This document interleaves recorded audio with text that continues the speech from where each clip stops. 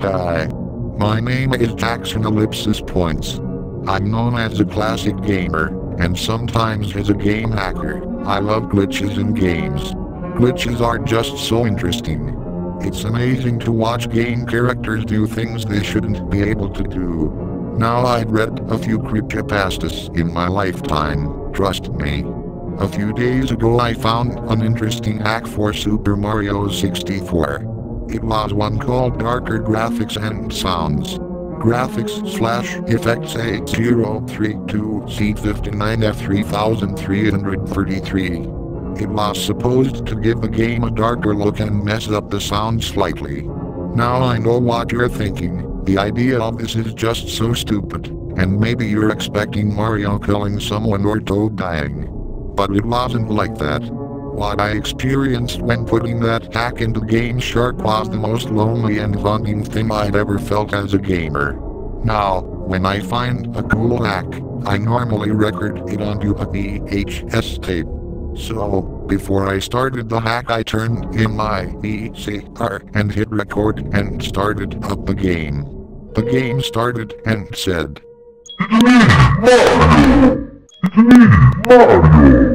but in a deeper voice, one louder and softer than the other. Mario's head popped up on screen and a strange low rumbling sound hummed out of the speakers along with a sound that kind of sounded like chains clanging. I practically pooped F with joy. The game was just like a creepypasta, at least based on the sounds. I hit start and the menu screen popped up. The first thing I noticed was that the music went to a dead stop in the first note in which I thought was pretty cool. I selected a new file and the game started. Now it showed Peach with her normal box of dialogue and almost a drum or humming sound playing in the background. That is the moment I heard the first voice. I forgot to mention this is not the game I'm focusing on. That was not the most scary part about this event. Aloha came after the voice and Lakitu went down past the castle. Peach's castle was pitch black, with only the red flag poking out the top of the towers. I laughed in amazement at the effect this hack was having on the game. The ground was black, the trees were just sitting on nothing and the only true color was the water and the front doors along with the painting of Peach. The green pipe that Mario jumps out of came up and made a sound like a rusty door closing. Mario jumped out of the pipe with a groan and a repetitive high. A high-pitched beating sound throbbed out of my speakers over and over again. The dialogue box closed and I decided to look around. My heart thudded in my chest as I walked around the castle grounds. I was freaking dumbfounded. I normally got hacks that did some glitches but nothing like this. It was spectacular. As a bird rushed by the camera it sounded like a plane flying through clouds, a low whoosh sound. Although the sky was dead silent, it sounded like a thunderstorm was coming in the distance. I walked slowly through the trees admiring the amazing malfunctions of the game before me. I turned Mario towards the pool of water that was under the bridge and jumped off. As I swam across the water the low rumble that sounded like thunder rumbled through the air again. I walked up to the bridge that enters into the castle and Lakitu came down in front of Mario and did his normal speech. Now, when I went down the box of dialogue, every time I pressed a button in my controller, the game made a strange buzzing sound. It was like I was doing something I shouldn't have been doing. I went into the castle and Bowser's text box appeared along with a strange echoed thudding sound. The inside of the castle was pitch black. The only things showing were the doors and the coins along with the faint outline of the second floor and the pairing above. Oh, I'm going to have nightmares about this, I joked to myself. But my laughing stopped as Mario started to walk slowly across the room. It was replaced by just this chilling feeling in the pit of my stomach of fear. Not a lot, just a little. Mario walked up to Toad and Toad said his normally lines. But as Toad spoke it seemed like the words trapped in the walls seemed more dark and menacing than they should have. I shook myself of these elegiacal feelings and carried in. I walked over to the small staircase, which I couldn't see, and went up it to the start door. The Bob-omb battlefield pairing stood there glaring down at Mario in the darkness. I jumped into the painting and a sound that I could only describe as unlocking a portal rung out of the DV. I hit select and I was greeted by what sounded like a church bell ringing and a low rumble slash hum. Along with a strange pulsing sound, the sound continued as I walked past past the chain chomp. Now, like an idiot I fell off the bridge and landed in the ground. The game made a long tone trumpet sound. This was when the sound started to get really creepy. Have you ever heard those dark music soundtracks? Like the ones they use in those dark hallway scenes in movies? That's what this sounded like. An eerie dark rumble with an echoed springy sound mixed in.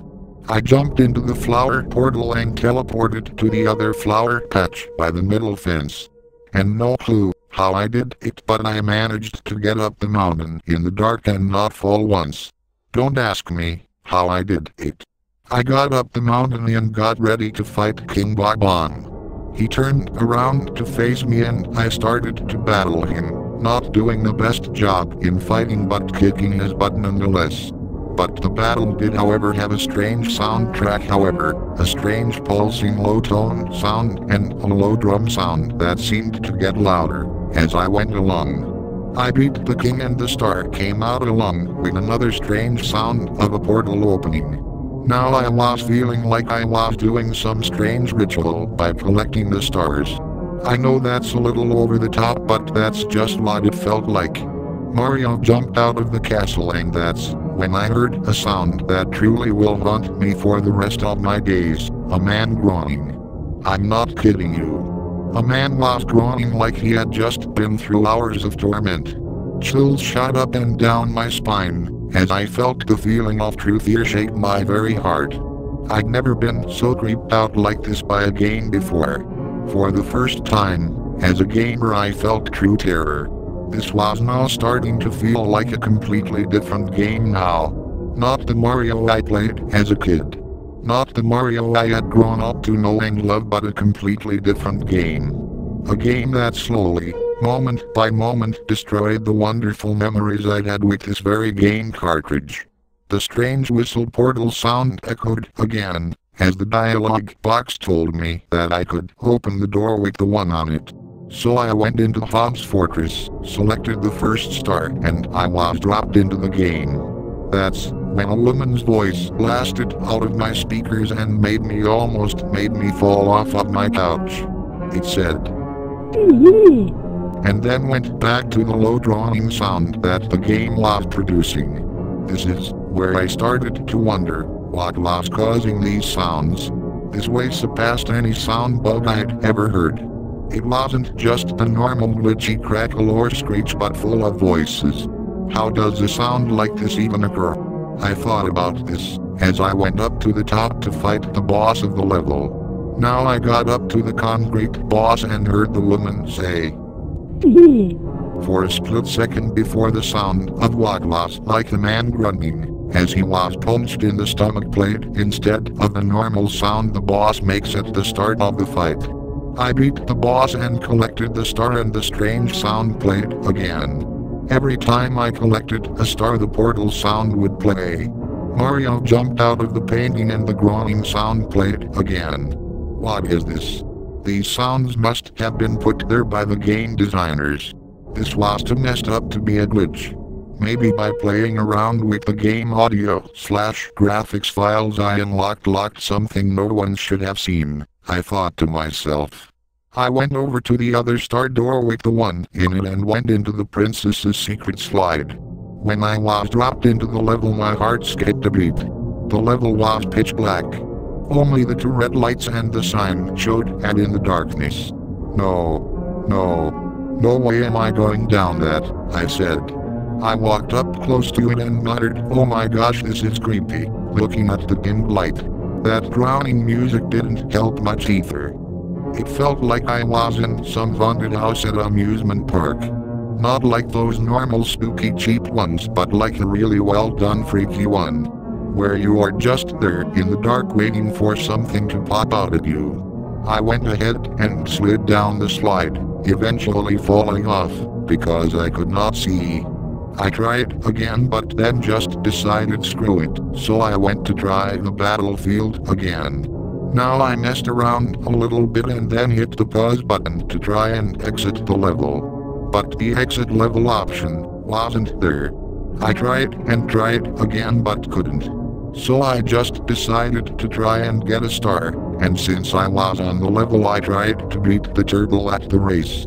I went up the mountain and got hit by a ball. Nothing happened. No health bar showing I was hurt. Nothing.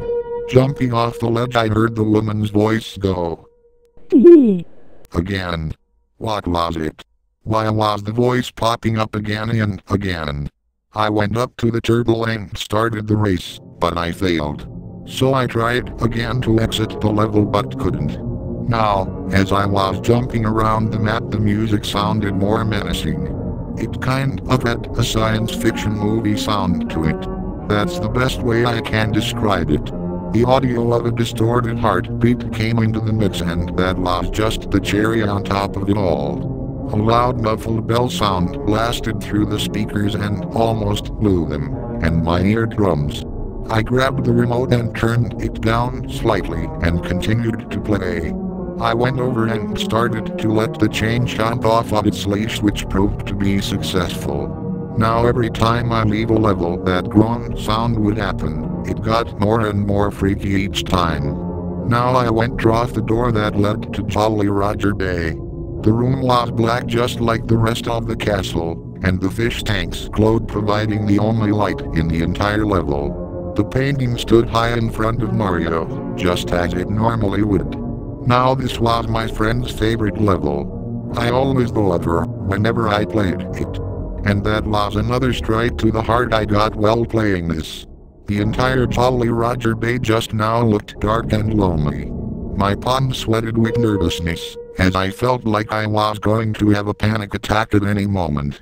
But I kept refraining myself and remembering it's just a game and it can't hurt me. The underneath of the water was so dark and swampy looking. The eerie shapes of the rocks sticking up out of the water and the blueness above. It was just such a lonely abandoned looking world. Now, I never needed to get there, because well the game wouldn't let Mario lose breath. He was invincible. So I just continued to get the treasure out of the chest. Another loud high-tone groaning sound came out of the game. It sounded like someone holding down an electric piano key. I bet you could guess what sound came from the star. That's right, the drone sound. This game was repetitive with its little soundtrack but I knew it meant something. The moan sound happened when I left the game and that's when I lost it. I started panicking like a little kid who just saw a horror movie on the TV by mistake. It's just a game, it's just a game. I cried to myself. I don't know why I was so scared. Maybe it was the feeling of just being alone in the dark or maybe the game had touched the little kid in me and I was just feeling the game smash my sweet memories. Who knows? Now I jumped into the hidden fish room in the wall and this by far was the most creepy room besides the slide. All you could see was the window outside. So close to freedom but trapped just behind the glass. Clouds were the only light in this room. Mario just went around the fish tank and grabbed each red coin and got the star. I just wanted out of that small room. Now the strange part was, when I left this room, the groaning didn't happen, it was just nothing. I went into the snowman's land door and jumped into the painting. Now snowman land was so dark I couldn't even see the castle just the trees and the shadow of the mountain. I jumped down to the bottom of the slide and walked past the snowman's head. Now looking back at the tape I see just how depressing the world in this game is. The headless snowman just sitting there frowning. It just seemed so depressing to see there was no joy in this game. Now I thought to rescue the baby penguin but decided not to. The bridges leading to each teleporter were gone, except the end, where you'd normally teleport, but when I tried I fell off and died. That's when my mom came in and scared me. I told her to look at the game that I was playing, and as I ran around the room in the game I told her about the voices in the game. She listened to the drawing of the game and told me it was very creepy. Then she told me she was going to the store and would be back soon. I listened to her leave as I played the game. Now once again I went to the fortress and just played around a little and that's when I realized how to leave the levels ellipsis point suicide. Mario had to actually kill himself in order to leave. I don't know why, but I just thought this was so dark. I went back into the level to go to the top of fortress, but instead I jumped off the cliff and died. Now I went back into Jolly Roger Bay trying to get out of the ship. I lured the enemy out and went into the ship. I swam through the ship silently and opened all the boxes to get the star. That's when the water went down. I tried to make it to the top in time but I couldn't. And because I couldn't get up, I couldn't see. I was stuck. Mario was stuck there. So close to freedom. But so far away. He was trapped with no way out. He was sadly left to die. And that's when I shut off the game. A few hours later I hacked the game again, same codes but also including a select level code but didn't get much worth talking about, besides the boos making strange sounds and stuff like that. But now I'm going to try loading the end title screen. I'm going to put the computer down, fast forward the tape and see the end screen. Then I'm never touching this again. I might just lock the tape away somewhere. Who knows? I'm posting this online. I need to have the world know about this. Hear my story, here it goes. I turned it on. I can't believe what I'm looking at ellipsis points. Peach ellipsis points. Mario ellipsis points so alone. The room. The cake is rotted. The cake looks moldy. At the bottom it just says these words. There is no end.